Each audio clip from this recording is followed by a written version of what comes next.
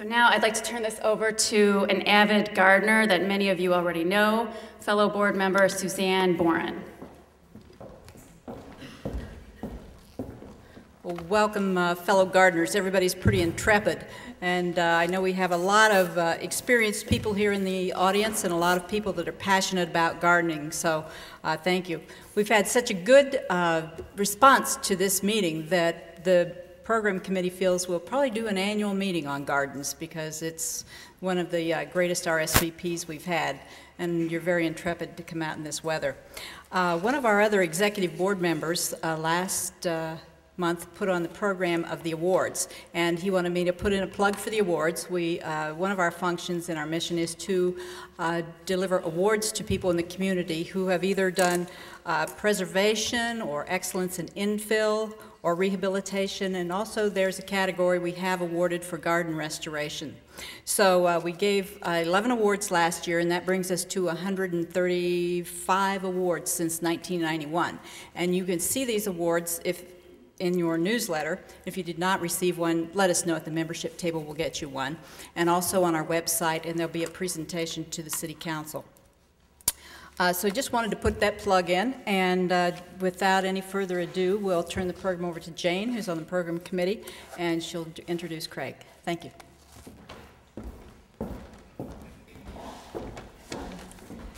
Well, I'm particularly um, happy to introduce Craig Bergmann. It was always uh, something I looked forward to every summer to when he had his um, retail garden in Winthrop Harbor, and I always went up and particularly liked to hear him talk about plants, which he did uh, on several occasions during the summer. And um, his plant food, uh, plant material was particularly uh, wonderful, and I still have most of it in my garden. Craig Bergmann is a registered landscape architect, garden designer, plantsman, and lecturer.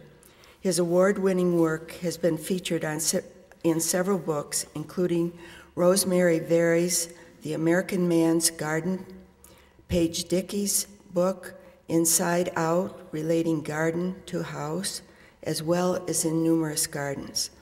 Also, Craig and his own garden were featured on PBS television series The Victory Garden in 1998. HGTV Gardener's Journal, and on the Garden Conservancy tours, 1997 through 2006. Um, the 2007 January February Garden Design magazine features his Golden Trowel Award winning garden for a residential landscape in Highland Park, Illinois. Since 1982, Craig and his company, Craig Bergmann Landscape Design Incorporated, have specialized in putting a Midwestern modern day twist on the classic garden designs of Europe. While best known for his herbaceous borders, potagers, woodland, and formal gardens, the scope of his work ranges from estate master planning, public and private urban gardens, sculpture gardens, and restoration of historic properties. Craig has been gardening for a long time, and it started on his fifth birthday when his father gave him a plot of uh, land behind the garage to have a garden, and he's been gardening ever since. So I welcome Craig Bergmann.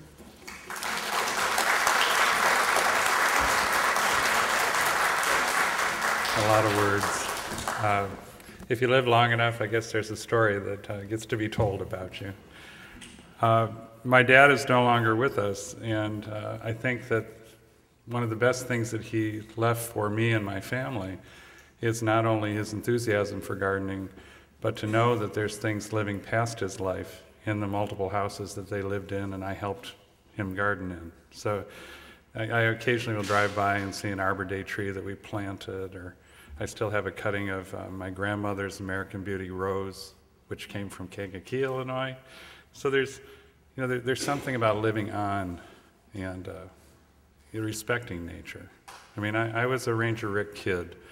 Uh, I was an Indian Guides until it got too organized, and it uh, was, it just took too much time away from my playing in the woods and making forts and fishing and all that kind of thing. Uh, in college, I tried to study something that would keep my interest because I, I never really liked the organization of school. And I studied biology, and I have a degree in biology with a, with a minor in botany. I'm not a, a registered landscape architect through education. I'm grandfathered through the state of Illinois. I've never had a horticulture or landscape architecture uh, formal class before. I require my staff to, but I don't. Uh, you know, all of the things that Jane was nice enough to, to list that we've been involved in, whether it's publication or, or uh, being on a, a television program or whatever, I couldn't do this without the team of people that I have behind me. I have, uh, over the years, I've had up to 100 employees. Uh, we're down to 75 now by choice. And uh, it's a dedicated group of people that are passionate about what we do. It's really wonderful to be able to love what you do and make a living doing it. And I hope that all of you, uh, whether you're retired or still working, love what you do because you're a fool if you don't. Um, I think I, I look pretty good for almost 50. Uh, I have a bad back because of my gardening. But uh, I just think that uh, life is too short and to live and breathe and eat something like work, like we all do, I just feel very fortunate to be able to, to make money doing it. So, with that uh, sermon, I'm going to dive into this. One of the things that I did today was to focus my attention on properties that we've worked on that have been uh, where the house was built uh, either pre 1940 or brand new. And the reason I'm doing that is to kind of show you uh, how we can make old look uh, appropriate and how new can make uh, things look more established or older. I'm trying to, uh, with all of the work that we do, our best compliment is when somebody uh, pays the final bill and says, I, I can't believe that this is brand new. It looks like it's been here for a long time. And that's the point. I mean, if we're working on old established properties, we need to bring in a few big pieces of the puzzle if we're putting a new uh, collection of plants together. We have to use quality materials because typically the old homes were built with quality materials. Why would we want to lessen that? I think uh, the concrete paver will be one of the major elements of our landfills 20 years from now. When people who have uh, decided to do these quasi cobblestone driveways realize that the color that they bought 10 years from now is going to be the color of concrete. You know, the, the fading factor of all of these, uh, these pseudo materials they're, they're not as good as the stone or the brick like these old houses uh, up here are made of. And it's just interesting. I mean, I think we'll see a real kind of turn in going back to the real materials. And what, what better way of going green than to use old street pavers? You know, you're not paying for that brick to be made again. You're not wasting fuel. We're actually just recycling. Unfortunately, it's expensive to do that, but sometimes that's a way of making a new property look uh, proper in these old neighborhoods, like most of my work is. We do a lot of planning. I thought uh, I'd just kind of show you what we're, what we're uh, up to now. Um, this is a project that we're working on on a creek in Downers Grove. Uh, I asked the, the client when I first met, the, met them and met their property, I said, What style is this house? And she said, Well, it's a Cotswold cottage. Well, when you look at it, it has a terracotta roof, a terracotta tile roof, and uh, and stone and brick detailing. And one of the most prominent features on the back of the house is this window. Yeah, as you can see, it's very kind of English arts and crafts in style. And I, I thought that it was quite a, a beautiful piece of architecture. And then I talked to the client and I said, Well, how old is the house? And she said, Well, this part was built by Michael Graham of Liederbach and Graham about 15 years ago. So here is somebody that took an old house, put a new addition on it, and kept the same integrity uh, to the architecture as they did to the uh, house itself. And uh, I try to do that with landscapes. Uh, we, we tend to not rip everything out and start over. We use old pieces of the puzzle to rebuild a new puzzle. The, the sketches and the plans that you saw that I just kind of passed through is just to show you the, the technical uh, aspect of our work. We do need to plan we do need to get drawings exact, so then the, the work can be priced out, the budget can be approved, and then we can typically implement the project over a number of years. Uh, This job uh, is a nightmare. Um, We actually have very tight uh, space at both ends of the house, so we can't get plant materials in. So last week, during the last thunderstorm, we were lifting 25-foot evergreen trees up and over the terracotta tile roof. I was a little nervous, but nothing fell. She wanted a pool. She lives in the floodplain, so we need to put the pool at the grade of the house. So the pool is uh, 22 steps above the grade of the backyard and the creek, which overflows twice a year. So it, it, this has been a real act of historic preservation, uh, both for home and landscape, because while we were at it, we shored up the foundation of the house so it wouldn't cave in with this new addition of the swimming pool. These light fixtures, uh, there's a great antique uh, light fixture company in uh, central Massachusetts that we found. We were able to buy a complete series of what are called, they call them fiddlehead lanterns, like the fiddlehead fern frond as it's unfurling. We bought a whole set off of a house that had been demolished. So every lantern on the old house is coming to this new house, or this, this new location uh, for the, the different doors, because she had a real mishmash of, of, uh, of fixtures that she had purchased over the years, but now that we're trying to connect all the dots and, and make one clean vision for the house, we tried to even influence her on outdoor fixtures and things like that. I have an opinion about everything. Sometimes people ask me, other times they just kind of volunteer. Uh, we do uh, historic public scale projects too. This is just a rendering of the Evanston Golf Club on Dempster. Actually, it's weird. It's the Evanston Golf Club in Skokie. It's, just because, you know, Skokie was uh, kind of wraps around Evanston, but, but we had to do a great big uh, pergola design and front entry and everything, and they, they've implemented about two thirds of it now. But it's, it was fun to be called in to do such a grand scale project. If any of you know uh, Ridge Road down in Evanston, stay tuned because next month we'll be starting on this project. Uh, it's at the corner of Dempster and Ridge, uh, directly across the street from the old Eastman mansion, that Georgian that's on the west side. This is on the northeast corner. It's a beautiful, beautiful, again, arts and crafts style duplex. And over the course of five years, our client bought one half, and then the other half came on the market. They bought the other half, and they're combining it to be a single family house. Uh, it'll be 11 bedrooms. There's a 80 foot long ballroom in the top floor. And uh, when, you are, when you walk in at the street level, you walk up three steps. At that grade of the house, you have to walk down 15 steps to be down to the yard grade because Ridge Road is a ridge. So uh, we actually, with an architect, cooperatively designed a pair of uh, two-car garages that help block the alley, and then there will be a central terrace that connects the two garages, connecting arbors and a lawn for the kids to play, and some interesting collections of plants. But you know, when when uh, we take on the responsibility of working on a project of this scale, uh, it, one, it costs a lot of money, and two, I'm designing it for somebody else, and I really want to make sure that what we're doing is, is doing what's appropriate for the house, but also doing what's appropriate for the client. And just, be, just because I may like something, I don't impose that on someone, but if I feel it's really important, I try to uh, convince. So. Uh, this was an interesting project for us. I'm going to buzz you through some completed projects so you can just see the, the diversity of styles of architecture that we've had to work with over the years. This is a brand new house four years ago. Uh, there was a wonderful uh, house on the property, unfortunately, and three large bur oaks that had to come down uh, to build this new house. Again, a Liederbach and Graham project. Michael Graham was the project architect.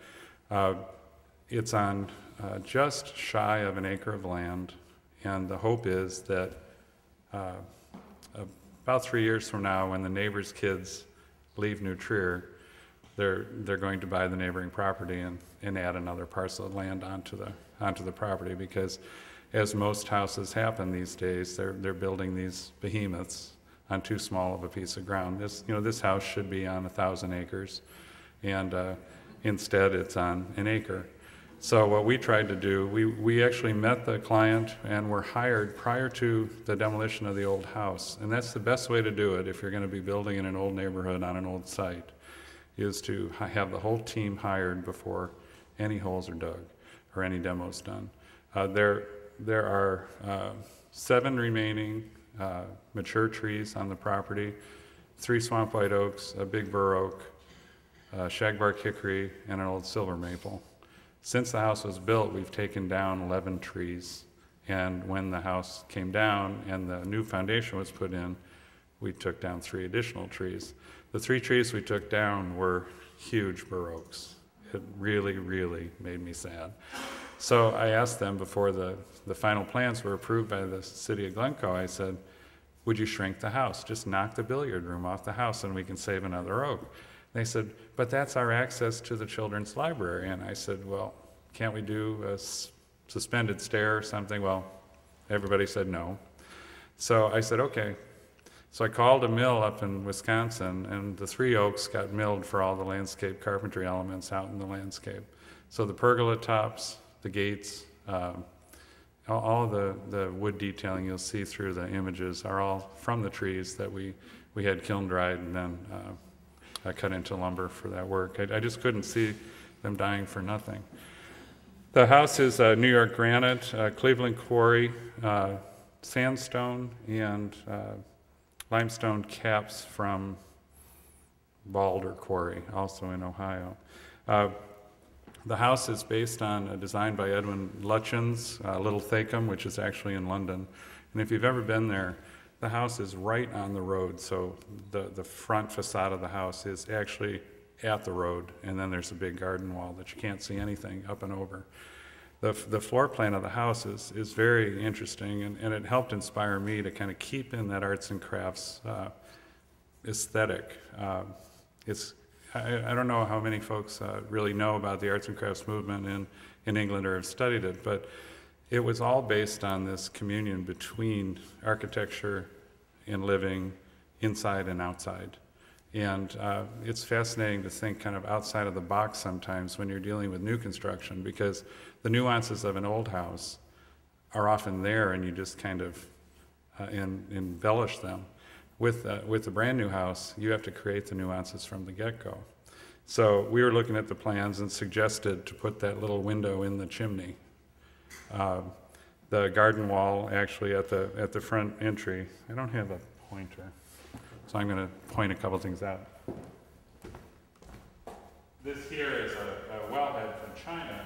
Has quite a bit of detailing uh, that has real curvilinear lines, and that's where this path uh, design came from. The wellhead is new. We had a couple years to uh, acquire these materials because the, the house took three years to build. And we actually accessorized the garden as we were planning the garden. So if we needed a garden ornament, we had a couple years to find it. Um, and that's nice. Again, you know, there was the interior designer, the architect, and landscape architect were all hired uh, pre-demolition of the old house. So we were able to have a real interplay, and it was a real collaboration. The stone entablature on the back, or the, the arbor that you see there, as you know, if you try to grow vines in the Chicagoland area, it takes a while for them to get root established, for them to grow. So we went out into our woods up at the old nursery plot and cut old Concord grapes and uh, strangled the pillars and the and that heavy uh, stone beamwork with old grapevines and and our new vines, which are wisteria and trumpet vine and sweet autumn clematis. They're now growing up the entablature, but uh, initially we wanted it to feel like there were old vines growing on it. The first Christmas, actually, this is a sidestep, but the first Christmas we covered all of the uh, grapevines with little white lights, and that was real beautiful too. Uh, the lower level, you can see in the bottom right, uh, an odd little side story. The husband uh, of the couple who built this house, he lived in Northfield in, in a floodplain area, and every time it rained, his family's home basement would flood. So he said, we are not going to have a flooded basement in my new house. So there's like six different systems for this house not to flood. And his office and uh, their wine uh, tasting room is down in the, in essence, basement of this house. And there's massive amounts of uh, not just sump pumps, but drain tiles and systems that are, that are involved. But what I thought was really fun is that uh, even though it's basement, we created this, this well for this lower terrace. And from the main terrace, you walk down an iron stairway, um, a spiral stairway to get down. But there's lots of ambient light. And the only plant material that the husband asked for was a couple of palm trees somewhere. So we call this his palm court. And you can imagine that these palm trees are heavy and uh, they're only down in the summertime. So we found a, an old uh, uh, block and tackle that used to lift hay bales out of a barn. And we, in, we installed that on the iron railing to keep you from falling down into that sunken space. And we block and tackle the palm trees up and down in the fall and in the spring. Uh, that's always a challenge. It's kind of like our, our human crane scenario. But the ambient light down there is wonderful because it's bright, but it's also never full hot light. So uh, the, the stone gets kind of grungy and green, which makes everything look older. But it's a great microclimate for growing tropical species begonias. So we're up to, I think, 19 varieties of fancy leafed begonias that grow like weeds down here. And it's, it's almost like a, a greenhouse without a roof on it. So it's, it's a real fun place, and that's right off his office. Yeah, That gate actually is uh, from one of the great oaks that we had to take down. Um, and that's at the edge of the pool uh, garden, I would say. That little gate is only uh, three and a half feet tall. Uh, it's a six and a half foot wall because that's code for uh, as high as we could go. Uh, the detailing was lifted right out of an Edwin Lutyens garden wall. You can see the, the terracotta tile kind of sunbursting off the arch. And I was at the Sandwich Antique uh, Fair years ago and found that keystone, which we incorporated. It's from an old building in Iowa. The, the collection of spheres, uh, both animate or, or, alive and not alive, uh, the stone spheres, the iron spheres, the boxwood spheres. Uh, I had a pair of uh, stone columns that I, in the design, that I wanted to have a, a pair of nice size balls on top. And the first balls I bought, I realized were too small. Then I found one big ball, and I thought, well, if I can find a mate for that, I'll have the right size balls for these piers. Well, I ended up with seven balls, and I'm looking at them all in the garage on top of pallets, and I said, I have a collection of spheres all of a sudden. So then I started looking for singles, and then, of course, when you look for singles, you find the pair that you're looking for. So I found a pair of cast iron uh, spheres that were just great, and we wax them so they don't get all the stone rusty. But we ended up with about 15 different spheres. Some look like cantaloupes, some look like smooths. I actually even bought some rock crystal uh, spheres, and they're all set in gravel. And then we, we carved the boxwoods into variable size spheres as well. And we ended up with a sphere garden. It's about 20 foot square, and uh, you can walk through. And uh, the wife, Jennifer, she called me when uh, they have four little boys, and she said, I, I got to tell you, I, I've been taking photographs all afternoon my kids are running through the sphere garden and playing hide and seek. And she said, Thank you, thank you, thank you. There's no sharp edges.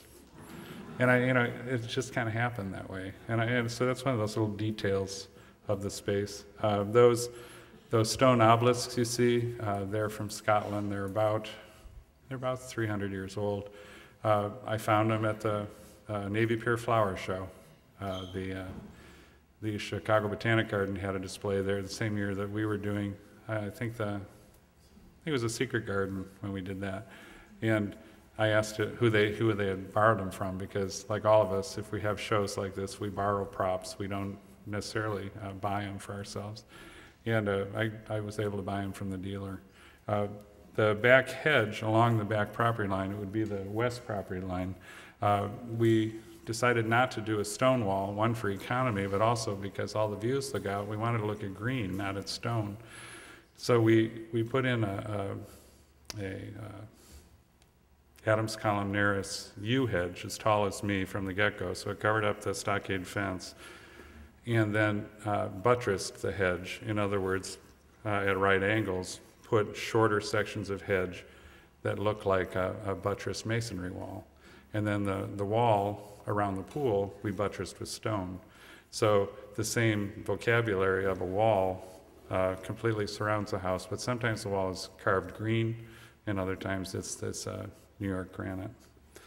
The uh, tunnel that you see is wrought iron, a local man, Antari uh, is the name of the company there on the south side. They have some great craftsmen, and he did a lot of beautiful andiron work and fireplace screens and things inside the house. And I asked him if he'd do something for us on the outside. He was already doing the iron fence. There's a section of fence, one part of the yard. And I needed the fence uh, at the back of the garage to keep the kids off the driveway, keep the backyard fenced for the swimming pool that was in the backyard, and also screen the uh, concrete pavement of the driveway behind the, uh, where the garage doors and the basketball hoop was. So on a cocktail napkin one night, I thought, oh, that could be a tunnel. So uh, with Antari, we designed this tunnel, which is 45 feet long, and it's arched. And he had some old stock in his warehouse that had a, instead of an embossed, it was actually a, a carved-in uh, bark texture. And he said, I can bend this stock. It was two inch stock. And I said, Well, if we're going to do this tunnel, because I, I knew a, I wanted it covered with espaliered pear trees. And I have a man who grows espaliers for us. So the espaliers are grown with uh, the bottom lateral is 22 inches above grade. And then every two feet, he, he grows the vertical. So it looks like a giant dinner fork. That's the shape of the espalier we were putting on this tunnel. And we were growing the trees the same time as we were making the arbor, so we were able to, uh, when we installed it, it all looked like it, it had been grown for years that way. The branches and the leaves, uh, which we had him make out of iron, we attached to these arches, and then I went to Treasure Island and find a, found a couple of classic pears, and then we, we cast them in uh, sand, and then they were cast in bronze. So in the, in the wintertime, you see naked pear trees, with wrought iron leaves, branches, and pears. In the spring, you've got the wrought iron pears with the flowering pear, and in the fall, you get metal pears and real pears all at the same time. And uh, on the right hand side, or the, or the driveway side of the tunnel, every two inches there's a little picket, and that conforms to the Glencoe pool fence requirement. So we, we had a lot of things going on, and uh, it works as a screen. It works as an interest point, and if you're walking from that main terrace with the entablature, you walk down the tunnel, turn left, you're at the pool, turn right, you're on the drive. This should be a house that most folks know. Uh, it's a wonderful house. Bill and Lynn Redfield own it. Howard Van Doren Shaw. Uh, we have the nicest people to work for with the Redfields, and they're wonderful friends too. Um, Bill's here, actually. Uh, the thing that I loved about this place is that I, I knew this house probably for 20 years before I was ever invited to come to it. And I always wondered what was in the backyard. Well, it's not the backyard that's spectacular here, it's the side yard. Uh, to the left of the main house, there's a wonderful sunken garden. And much to my uh, pleasure, when I met the property, it was kind of a dreary fall day. And uh, we were all in our, our wellies and our raincoats, and we walked out. And all of the infrastructural things, the masonry, the ponds, the pool equipment, the electrical, it was all done. Bill and Lynn had been working on restoring this garden, and now they were ready to talk plants. So all we had to do here was, in essence, decorate the garden. The, the foundation work, all of the difficult stuff, all of the ugly stuff was done already. And what was great for the budget is they'd already paid for it. So now, you know, we could, we could move right into planting. Uh, the, the house is uh, called the House of the Four Winds because it's never more than two rooms deep, so the wind uh, can pass through it, and it's on a knoll as well. If you've ever been to Crabtree Farm, the main house uh, that Adler built there for uh, William McCormick Blair, that's also that same narrow house form too. It's pre-air conditioning, so they needed to do what they could to uh, catch a breeze when they could. The, the garden here, uh, if one was to go out the south side of the house, there's a covered porch where the master bedroom's up above uh, the covered porch, and then there's a, a long canal that then drains over a landing of a double stairway that then falls into another canal that goes to a sunken garden space. Just a spectacular, spectacular place. Uh, big lawn on the east and the west side of the sunken garden, And one of the things that we did straight away was remove some pear trees that were flanking the upper canal because in essence they block that, that open, open uh, uh, ceiling space. We needed the consistency of the lawn to be able to run through when you're standing on the porch to realize that you're going into a private little space amongst this beautiful big lawn. And uh, the ceiling detailing is the sky. Uh, The color scheme of the garden uh, was determined by, uh, I don't know, I don't remember whether it was Bill or Lynn's, I think it was Bill's uh, mother, um, for their wedding present, did a crewel embroidery for the canopy of their canopy bed. And the color scheme was blue and purple and burgundy on uh, cream linen. And that's the color scheme of their bedroom. And this sunken garden looks out onto that uh, garden. So that was our color scheme. And uh, what better accessory for a garden than a blue sky? And it, and it went with the color scheme too. So we were able to just really capitalize on the reflective quality of, of the sky in the water. And the sky color was one of the sky blue tones of the flowers that we used in the upper terrace garden. Uh, we use a lot of, on the upper terrace garden, there's no fence, there's no enclosure to keep deer out. So we needed to use all types of plants that the deer wouldn't munch on and wouldn't be potentially attracted to to then decide to go down the stairs into the sunken space. So we used uh, Russian sage, salvias, calamintha, lamb's ears, uh, boxwood, uh, all things that you can grow if you have a deer problem.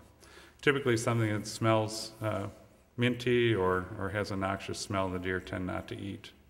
And uh, that's just kind of a cue for you.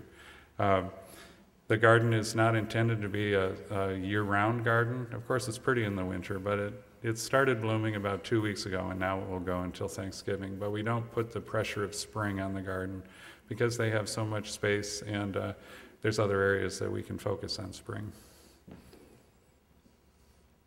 Here's the, uh, the upper image is the upper canal looking south, and at the, the bottom image is the, the lower canal uh, with, it's in full bloom right now. It's, well, actually, it's not in full bloom, it's just starting to be in bloom. There's catmint on both sides. It's the blue, the haze. And uh, as you know, we're behind this year. I mean, we had a nice spring. Uh, I was over on Lake Road this week, and there were still tulips blooming. So it, it's pretty exciting. I mean, I, I, I like that we've had a spring this year. Uh, the garden uh, is terminated with a beautiful uh, arched uh, Lannon stone wall with a, a big old bench. And at the end of the bench, we always just have uh, two big tubs of blue hydrangea at the back.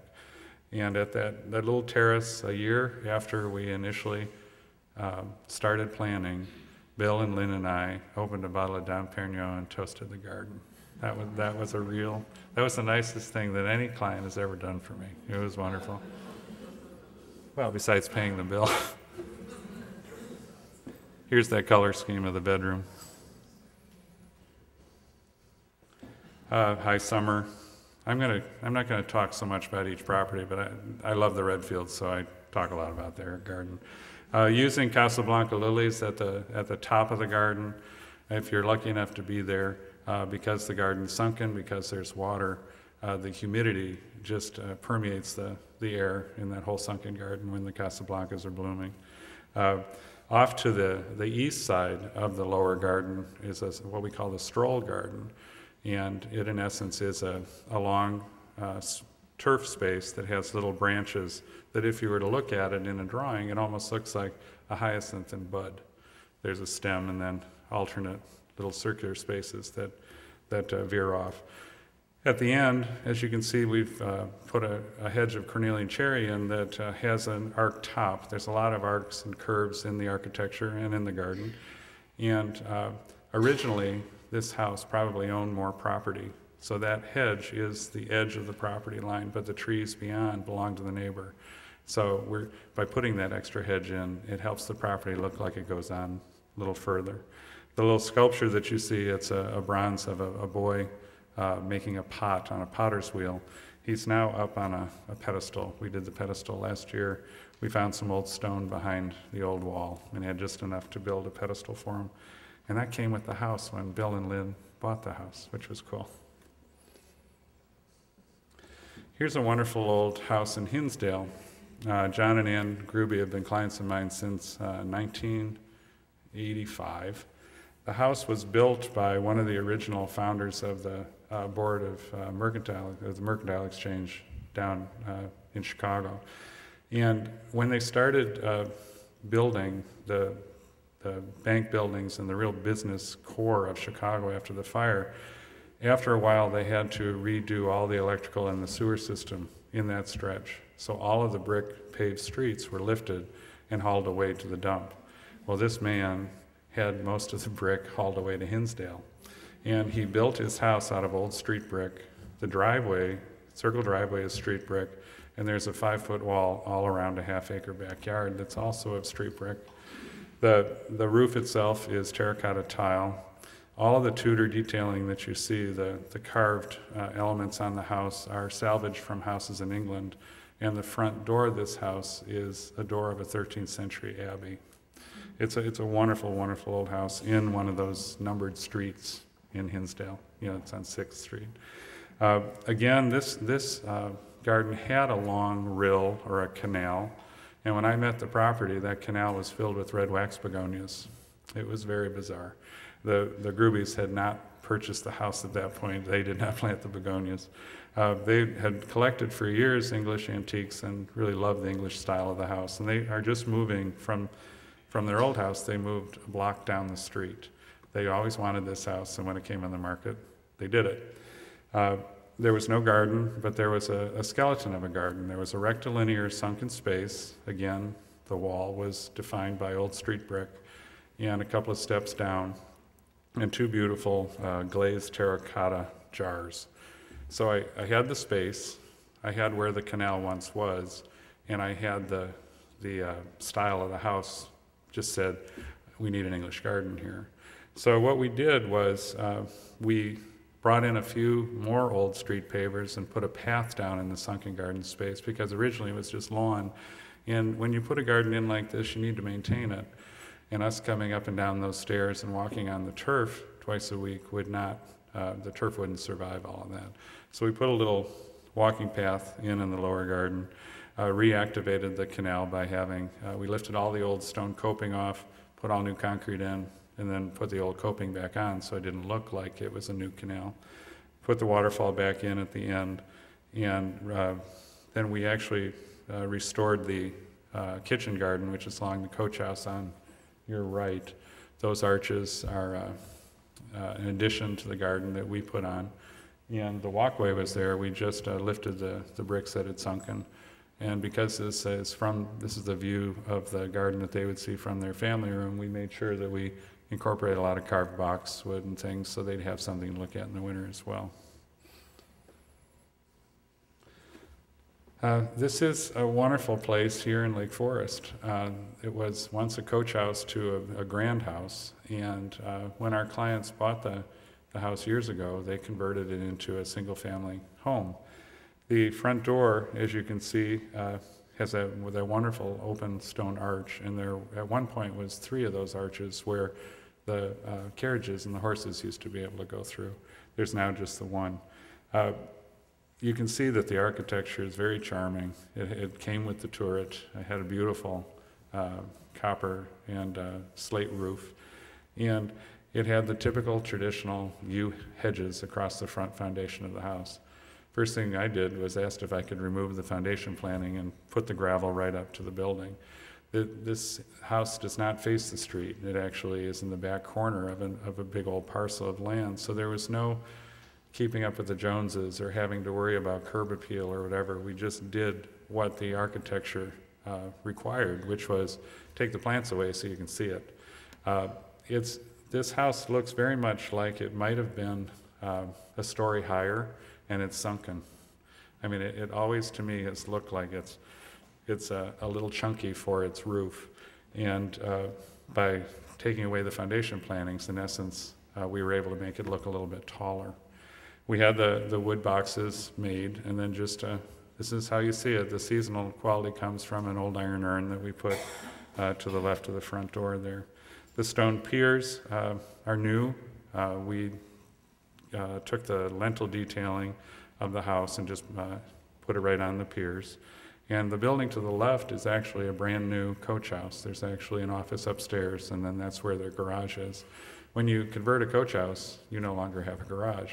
When they bought the property, it just had a little shed. It was an outbuilding that they painted dark green, and it kind of listed to one side, and it fit the Fiat. That's all it fit. So they, they lived in the house for over a decade and decided to uh, do a, do a proper building for it. So they hired Tom Rajkovich, who's a wonderful architect, very, very sensitive to historic um, architecture. On the back side of the coach house, you can see there's a little, in essence, a little projection. That's the garden shed. Um, that said to me hollyhocks, so there's always hollyhocks there. And then we grow clematis up and over uh, on that roof, so there's always a clematis clambering on top. The, the back of the, the property, which is what you're looking at now, was once an orchard for the estate. So what we did was we put in, we imposed a grid of trees, and then I looked at it and planned and anticipated which ones might have died over the years. So it, we could have planted, planted a perfect square of trees, but in essence, instead of planting 25, we planted 11 just by plucking out. So if you were to superimpose the, the organization of the, of the, of the orchard, you could see that um, there's a grid there, but not all the pieces are there. Uh, We also put daffodils out in the turf and put old shrub roses. Uh, So in essence, in the spring, there's a kind of a country vista out from the living room, which are the windows of the, the main house that you can see. And we promised them that we would not kill the bur oak through all of our, our landscape construction, and we didn't. On the back side of the house, there was a big concrete slab that ran per- perpendicular to the back of the house. And I asked what that was about, and, and uh, Mrs. Linville said to me, uh, Well, there was once an old greenhouse for the estate on the back of the stable. So she said, What are we going to do with that? And I said, We're going to clad it in bluestone and make it your patio. Uh, the, the back property line is, in essence, a ravine, and we constructed that wisteria arbor that you can see in the the upper left image. And uh, that, in essence, provides us windows out to the ravine view. But more importantly, it provides a backdrop for us to then focus our furniture out to the garden and then out into that old orchard space. Uh, there's four lilac standards in the sunken garden space. It was not sunken before. It was at the same level as the slab was. So we wanted to get some topographic interest and change. Uh, David Linville had a rose garden there, and a lot of the roses were dear to him. So pre-construction, we dug them all up, brought them to our nursery, and then brought them back after uh, the, the new rose garden was constructed. Uh, this upper little terrace at the, at the uh, bottom image, if you were to typically do a, a parterre or a decorative uh, garden with boxwood, you would more than likely do a band of boxwood and plant frilly things inside. This house is not a frilly house. It needed something that was referential to the old style of gardens, but I wanted to do something a little bit more uh, interesting. So our narrow bands are the bluestone, and the infilled green spaces are just panels of boxwood. So it just makes for a, a little pattern change, and it gives us a little bit more winter permanence because if you have a rose garden that you look out at in the wintertime, it's butt ugly. So by having this boxwood parterre at the upper level at your main view, and the four uh, lilac standards that we typically put little white lights on at holiday time, it makes for a real pretty little magical space even when it's not growing. Here's a great old house that was once about twice as large as it is today, but due to fires and everything, it um, is its own structure right now.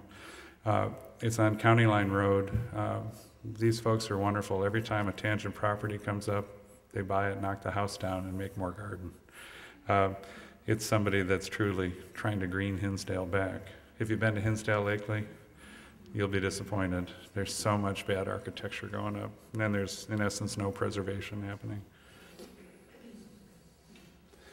This garden, uh, we had a lot of challenges for it. One, it's heavy clay soil.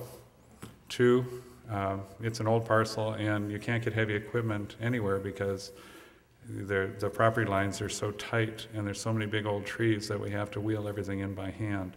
Luckily, the old pool was there, and we just had to resurface it. But these borders, these, uh, there's a pair of herbaceous borders at the pool, and uh, our clients go away for the months of July and August. If you garden in northern Illinois, your bulk of your color and display is in July and August and September, right? So we have to have these gardens bloom as quick as they can in April and May, kind of wane down by the end of June, and start back up again in September when they get home. So it's a challenge when, when they want perennials, because they don't want it to look like an annual garden, and um, when, when you have weather doing what it's doing now, I mean, I have a feeling they're, because they're far enough west, you know, they're not as far behind as we are. But uh, to, to have a peony last for more than three days when we have weather like we did this morning, I mean, it's hard, you know, so, so we're always uh, challenged to keep our, our plant collection accurate for, for the timing. Real simple. I mean, if you've ever uh, had to restore a swimming pool, we don't live in California. We don't need turquoise pools. Um, just say no to white plaster.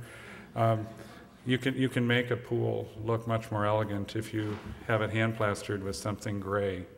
Or a lot of times people will say, "Oh, I don't like a black pool because it looks like you know nobody's going to be able to see the bottom, whatever." If you do this mottled gray, it almost looks like the whole pool is clad in bluestone, and it makes it look old. a great old place in, in Winnetka. This house has a wonderful story. It was being constructed on, in the complete, almost completed um, when the stock market crashed. And this man that, was, that built this house uh, lost everything. He was building a getaway house. They lived on East Lakeshore Drive, and they were, they were building a weekend place. It was the first house to be built on Indian Hill Country Club. And it was for ballet concerts, and choral concerts. And their, their living room was 40 by 80 feet.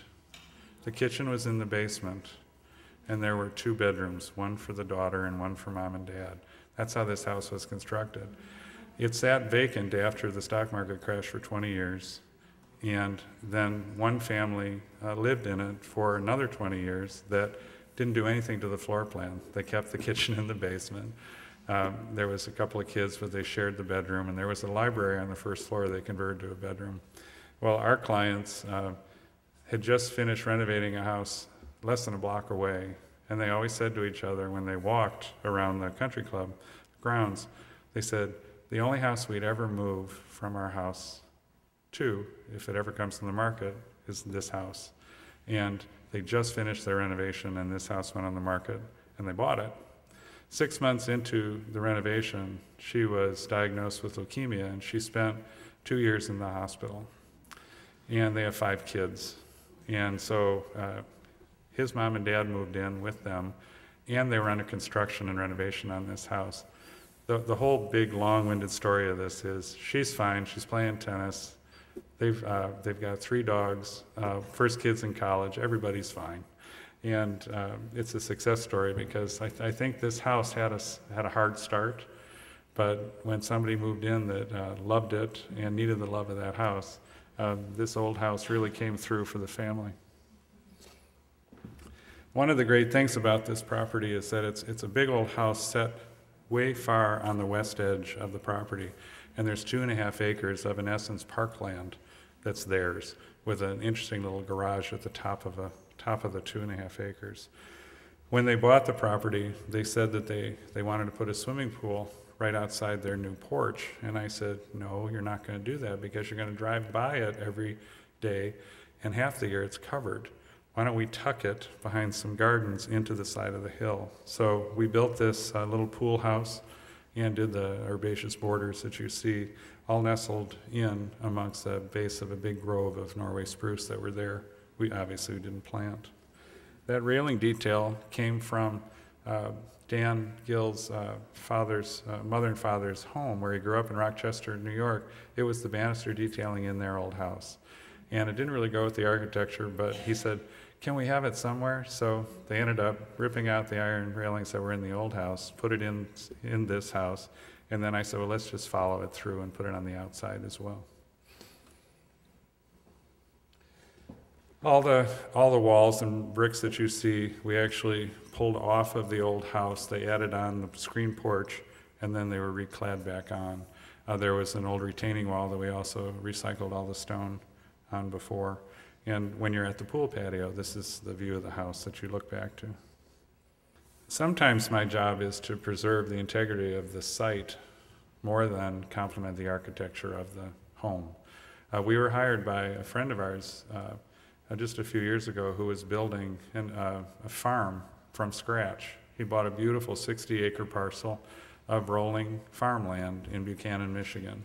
And he decided he wanted to have an orchard, and this would be his weekend house. Uh, he intentionally designed the house himself to look as if it was an old farmhouse that had been added onto a bunch of times. And he wanted it white, he wanted a green roof, he was very particular about it. And uh, he was the designer uh, of the house, which is interesting. How often do we actually get to design our own homes? We usually have an architect to do that, or it's already built. Uh, the little building that you see on the bottom left is a 10 by 10 uh, woodshed that I told him he had to build because he had, he had the house and then he had the garage. And we needed a way of defining uh, an entry space. You know, when, you're, when you're driving up a, a gravel road up through all these acres, you need to organize the space. And if you ever look at uh, how farms are, are laid out, they're always laid out in a very common sense kind of way. The house is far enough away from the barn so you don't smell it. It's downwind from the house so you don't smell it. But it's close enough in the wintertime you don't have to shovel a long way to get to it. The chicken coop is always closer to the kitchen because that's where you need the eggs in the morning.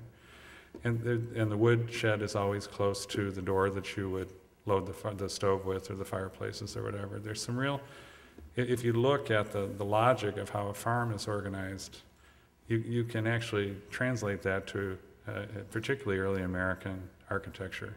Um, I, I have a, a, a pair of dear friends that have a beautiful house that was built in 1620 in Sussex in England. And it was once a, a family home in this little village.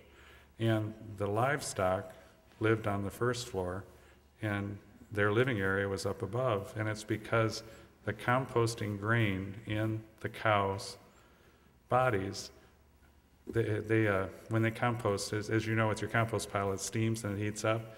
Those, those mammals would heat the house with, in, in combination with fire, and that's how people kept warm in the 1600s. You know, they, they were using those warm cows as part of their heating systems.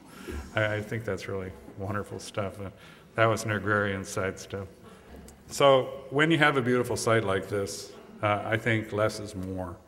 And uh, he wanted a pool, so we just did a simple rectangular pool because, as you see, the, there's lots of open land, so there's always crud that's going to blow into the pool. So we wanted to have an automatic cover. It's also for security since he's not here uh, all, all week long. The pool has a very narrow pool deck. It would be non-conforming for Lake Forest because you have to have 36 inches from water edge to the back of, of uh, the deck. But uh, here we could do something real skinny. And uh, we put an arbor over the, the little uh, shack that looks like a tool shed that's actually the pool house. So we were able to put all the equipment in one half and a changing room and a bathroom in the other. And the door is actually a sliding barn door uh, to just kind of keep this agrarian thing going. The arbor in front of this little pool house are old salvage beams that we got from a factory, and then we're training uh, wisteria up and over it.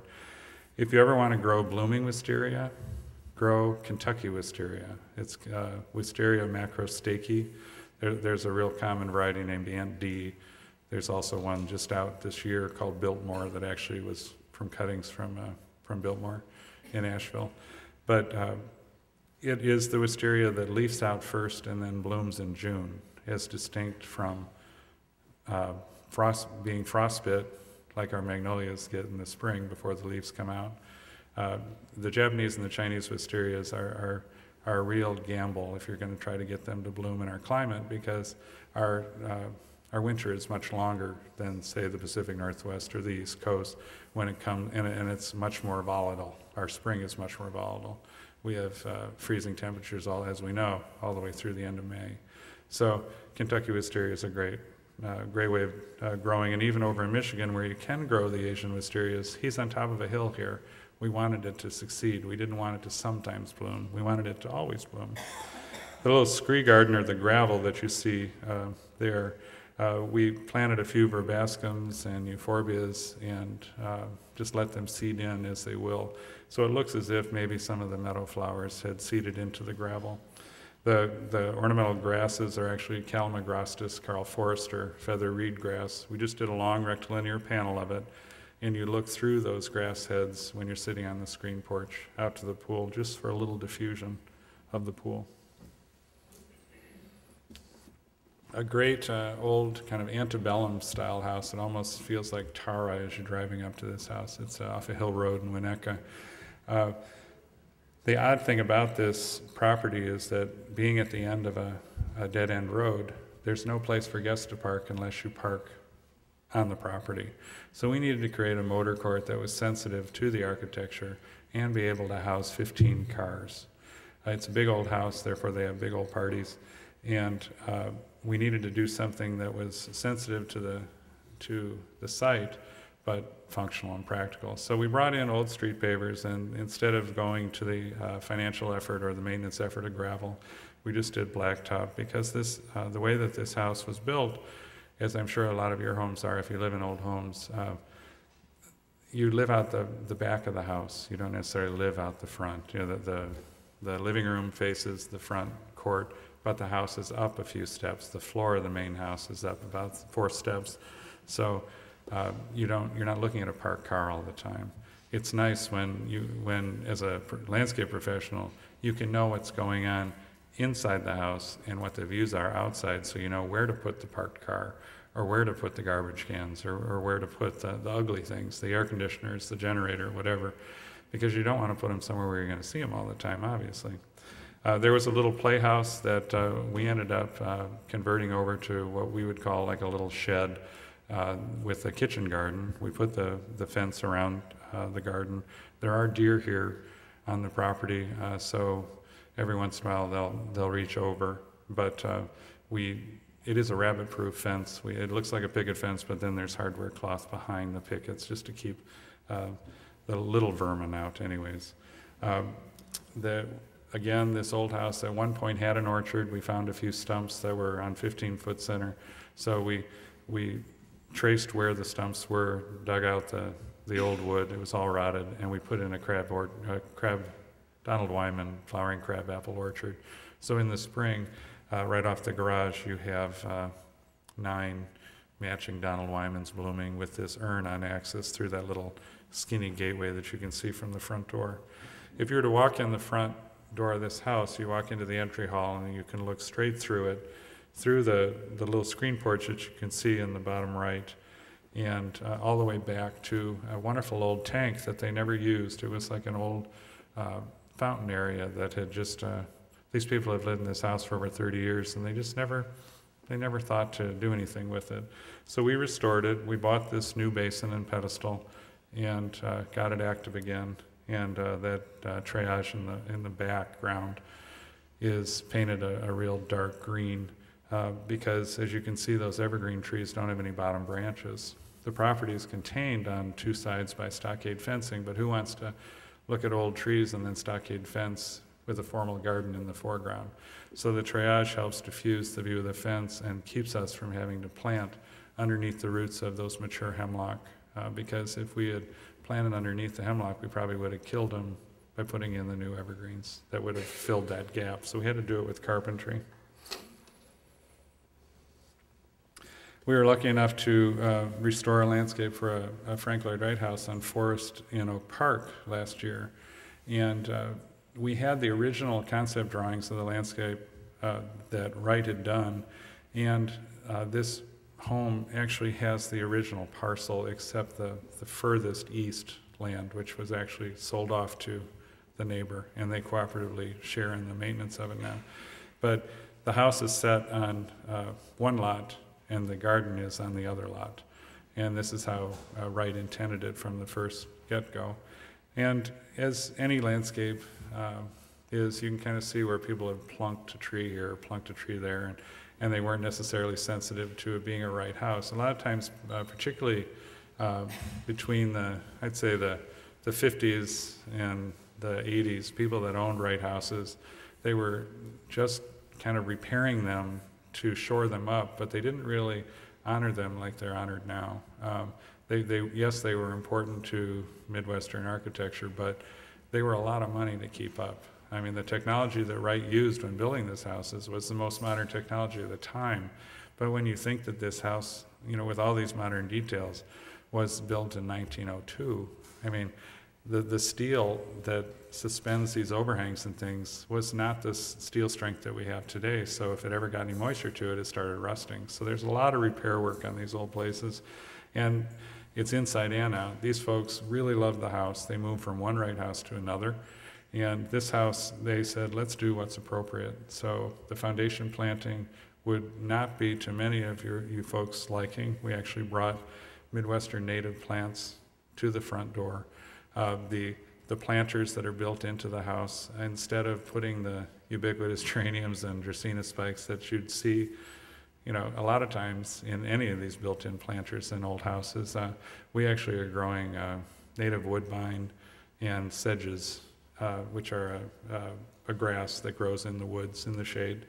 And so everything about this landscape was to set it into the prairie plants that Wright had intended it to be in. And one of the nice things is, is that the, the edges had enough seedling sugar maples and things, and there are even a few old arrowwood viburnum and the like. So we, we could tell what the original plant matrix was. And we watched it over the course of a six month period, so we could just add things that we saw were original and bulk up the numbers. And uh, so it ends up being a real kind of a cross between a, a woodland garden in the shade and a prairie garden in the sun.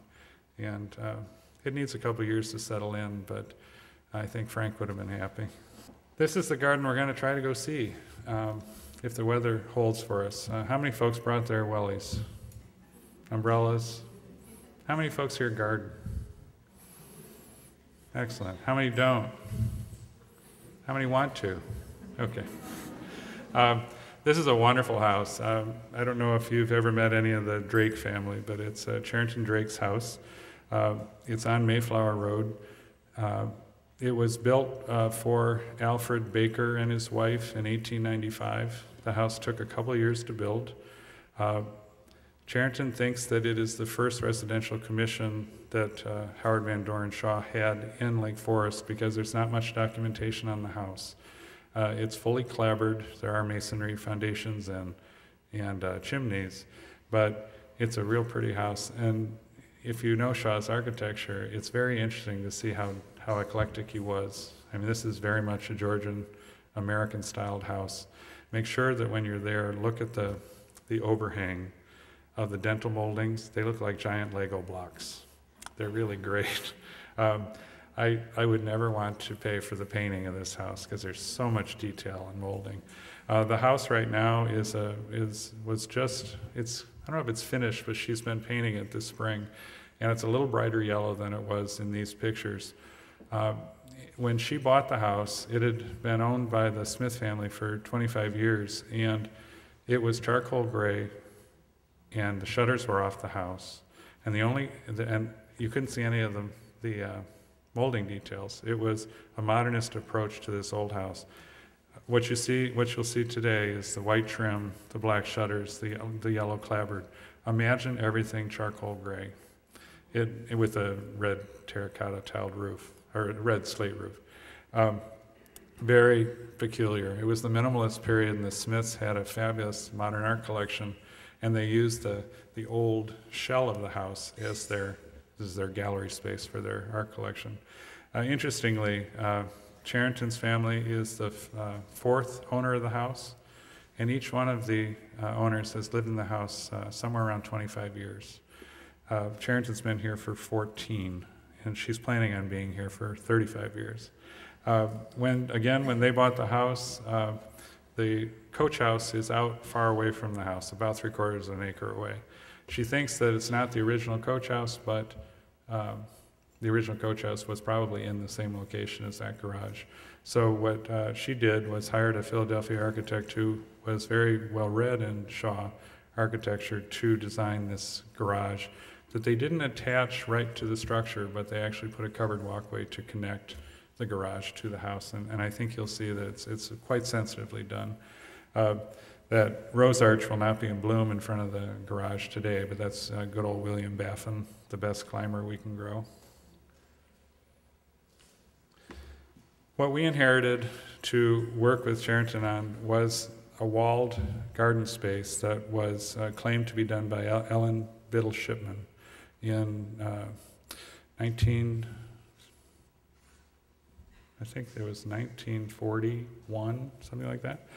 Um, the wall in one crabtree and an old uh, fountain, a rectilinear fountain or pond, were the only things remaining in the in the landscape, and there are no drawings for us to use as referential. Uh, I showed you the pictures of the Redfield Garden. We had the old scheme drawings and the concept drawings. Bill and Lynn had really done a lot of hard work to find them, and uh, we were able to use those as reference for not a not a restoration but a renovation, sensitive to the original collection of plants that were in the garden. In in this garden, uh, our charge was really uh, to provide a, a great, beautiful, appropriate garden space for the walled space and provide as many woody uh, plants, trees and shrubs, so there could be a really great collection of plants because Charrington has a degree in botany and she loves woody plants. Perennials are fine, but she'd rather have a tree or a shrub. And uh, so hopefully we'll be able to see a good bit of this uh, if we don't get poured on. When I get to work on these old places, this is actually on the, the porch at uh, at Little Orchard, which is the name of the original house. Um, I feel very honored, and uh, it's very important to me to not only respect the, the person I'm working for, but to respect the property that I'm working on. Uh, these old elements, whether it be an old wall or an old tree, uh, sometimes it's even something we dig up when we dig a hole, um, a, a, fragment of architecture, an old garden ornament or something. I, I feel like it's kind of like archaeology. There's always something that I take home uh, that's mine. It's not that I'm taking an object, but I'm taking an experience. And um, if any of you understand uh, what I'm saying, you'll realize that a new garden is wonderful, but a, a garden a couple of years older is better. And uh, typically, we have some type of maintenance connection to the garden. Um, I just lost the first garden that I ever installed to um, the sale of the house, and the people that bought the house are going to subdivide the property. In. But I, I had worked on that garden for 29 years, and I watched kids grow up, first communions on the patio, wedding tent, funerals, um, traditional uh, trees being planted to commemorate a 25th anniversary. You know, I experience all these things. You know, when when you're working with somebody's home, if you're a if you're a uh, an architect or an interior designer, um, you tend to do the work and you leave it. Now, if you're lucky enough, you keep the relationship going if you're going to add on to the house or change style or whatever. But when you're dealing with perishable goods like plant materials, it's really important to to keep the intention going. And that's, that's what our job is, is to, to educate our, our client to understand that, okay, this can be a beautiful garden, but with the garden comes the care that goes along with it. I would never want to design something that would fall apart due to lack of care. I would say 99% of the projects that we do, when the houses sell, we don't keep the maintenance. And it's because the people weren't as invested in it that bought it as the people that paid for it and grew the garden with us over the years. So the, this particular garden um, we installed 10 years ago now. And uh, we, you know, I have Charrington's cell number, she has my cell number. You know, what do you think of this? I'm at Lurvey's, I'm at Chalet, I'm at Fiore, whatever. We have a constant conversation. It's a creative process that I'm, I'm lucky enough to share with these folks. And uh, I just wish that you find things like that in your life to share because this is these are my children all these gardens. And uh, I, am not lucky enough to have kids but they sure are uh, giving me a lot of joy and making a lot of beautiful things. So let's go. Let's go to little orchard